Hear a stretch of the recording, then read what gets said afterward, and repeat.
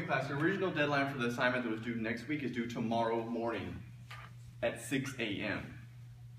If you do not turn in, you will not pass, you will not graduate, and you will not collect your diploma. Hold on, Professor. AOB, why'd you move the deadline? Why? Why did I move the deadline back? Because my wife's out of town, my girlfriend's in town, my kids are out of town, and the big game's on Sunday. I have reasons to be free this weekend.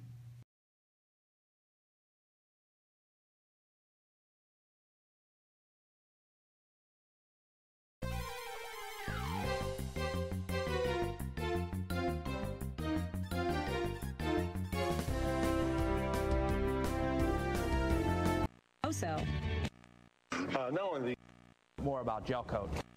When the fourth round would Don't you call in the